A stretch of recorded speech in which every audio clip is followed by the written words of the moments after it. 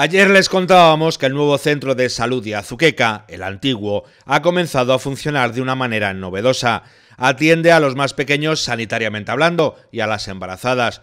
Un modelo novedoso de atención y por el que el gerente del SESCAN en Guadalajara está ilusionado y expectante. En Azuqueca se daban, a nuestro entender, las condiciones ideales para hacerlo. Una población joven, aún joven, una población con eh, mucha población infantil aún, que es algo que nos congratula mucho, puesto que no es lo corriente en España.